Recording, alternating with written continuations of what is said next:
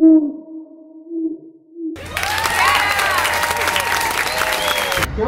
線快速砦行きです次は松戸ですお客様にお願いいたします車内では携帯電話をマナーモードに設定の上通話をお伝えくださいご協力をお願いいたします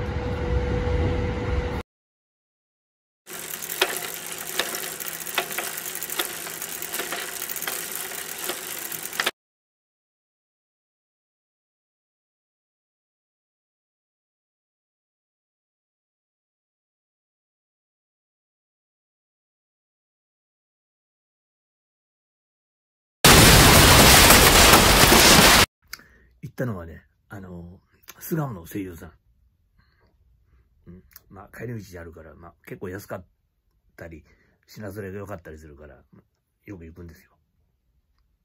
で、今日もね、ビーフステーキ、うん、行っちゃおうかなと思って。あそこほら、大きい肉があって、それ半分に割って食べるとほら、2日分持ったりするから。それを買おうと思ったんですけど、なぜか今日行ったらね、ステーキ肉が1枚もないんですよ。で、あ、なんかあるんだって和牛のやつあったけど、1100いくらまあ、油多いし。えー、と思って、パッと見てたら、あの、ポークステーキ？豚のステーキの肉があったんだけど、え？安くない？これ。いっぱい入ってるよ。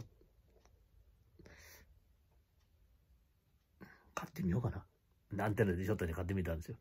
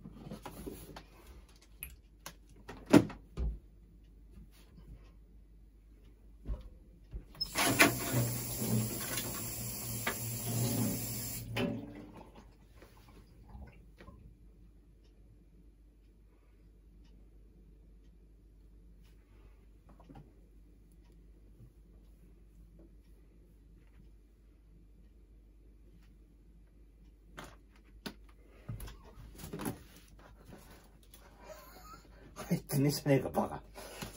たくん、何？言ってんだ今度入りました。どうぞ光る。これでね、あの、ほっといたらね、あの、煙とか出てくるから。まあちょっと、間が長いんで、ちょっと一旦切りましょう。まだ出てこない。そのうちね、ぐわーっと出てきますから。汚い木造住宅の台所でしょ。でもね、あの、近々引っ越すんですよ。だからもう、ここは逆に見納めになるかもしれないです。ちょ、ちょっと落として、聞こえますか？ジョージ・フォアマングリルね、とにかくね、絶対いいですよ。これはおすすめです。めちゃめちゃよくない初めてだからな。でも、昨日はステーキだから熱い。今日の薄いから、あ、煙出て、煙出て。油が出てこないですね。薄いからだろうな。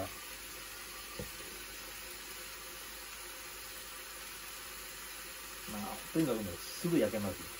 ほら、煙、煙。わかるきれいうん、いい匂いがしてきます。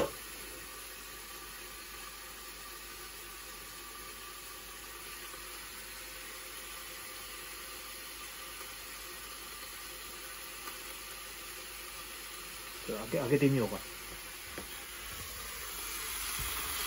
三、二、一、はい。うお。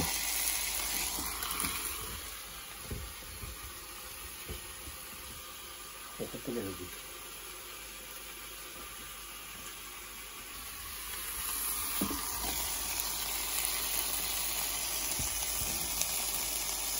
こうやって油が出てくる。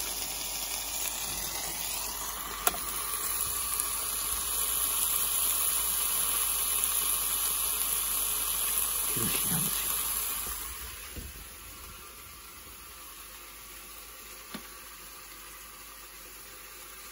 よ。三脚使って撮影すると楽だな。も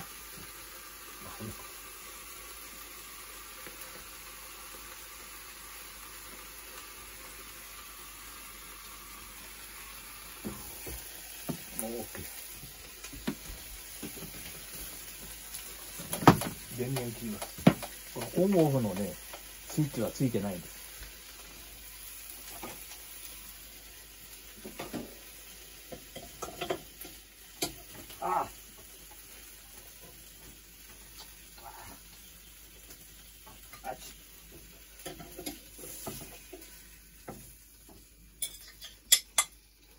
ですね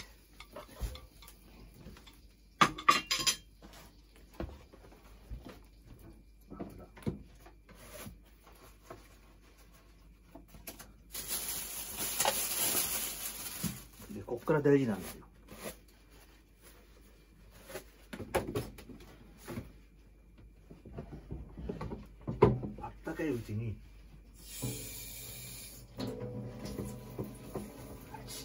濡れティッシュで拭くんです。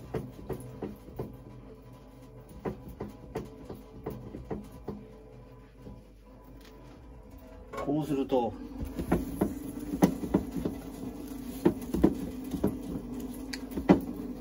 これだけで綺麗になるんです。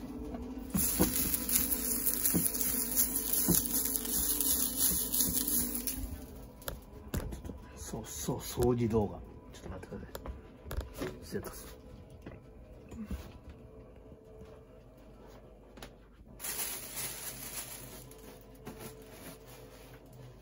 けどに気をつけましょう。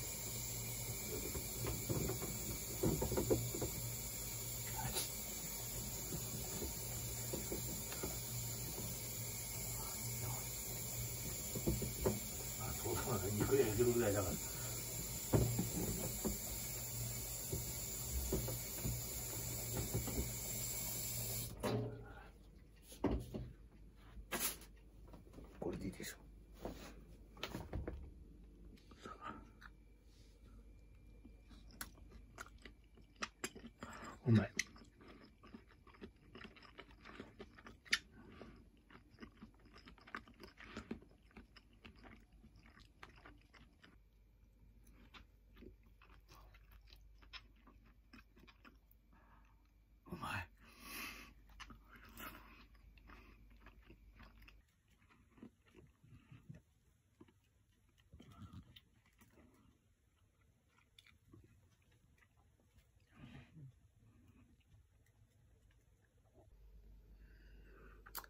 コールスローサラダ。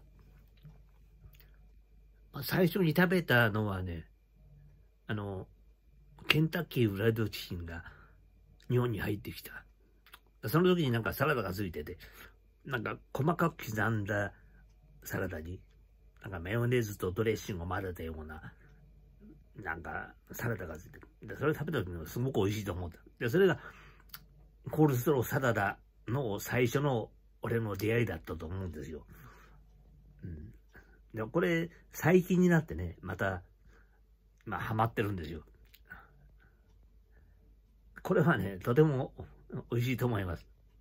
あと、ニンニンとか刻んでのが入ってたりするから、栄養学的にもすごくいいと思うんですよ。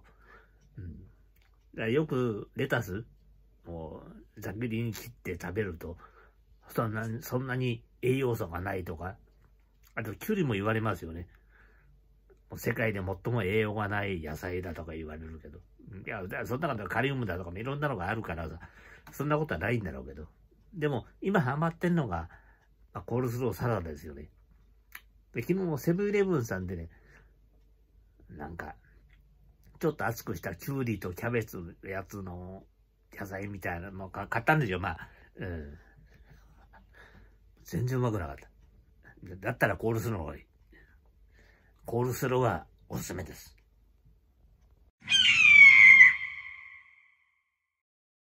あ